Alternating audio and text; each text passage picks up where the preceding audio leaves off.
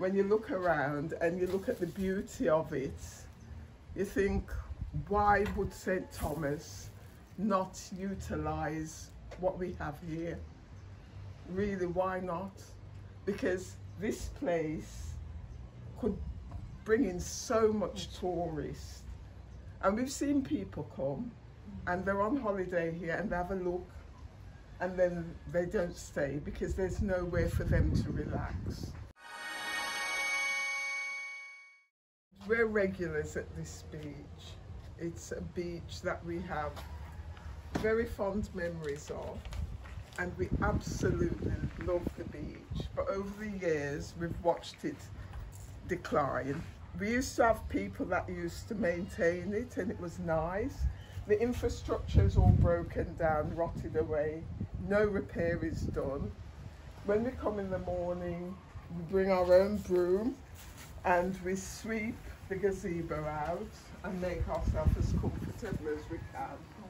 Every now and again we bring bags and we rake up the rubbish, bag it up and take it up to the top, mm. just so that the environment where we are is maintained clean. and is kept clean. Um, it's really sad that something as beautiful as this is allowed to go into such disrepair because people pay thousands to come to Jamaica and to enjoy our beaches.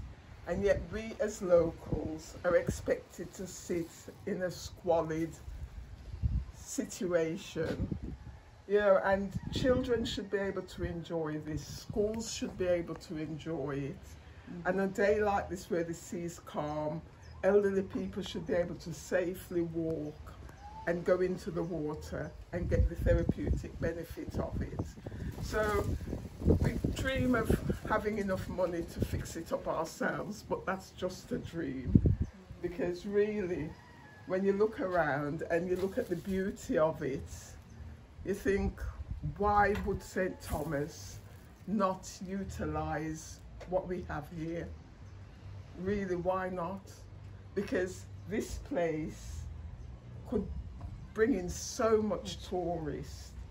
And we've seen people come and they're on holiday here and they have a look and then they don't stay because there's nowhere for them to relax. We lend out our brooms so that they can sweep around where they're sitting. Yeah, it is really sad. No toilet facilities. There are no toilet facilities. The toilet facilities are there, but they're not, not, there's nobody manning it. No. So they're locked up. No water. So, there's no water on the beach as well? No. No. Because people stole their faucets, so they've had to lock off the water. Mm. The toilets are locked up. The room there that they used to have the bar, they've they stolen the even the door, the door, from off the building. Can you believe it? Mm. So the door looks open, but it's because the door has been removed. Oh, somebody removed the door. Somebody removed the door.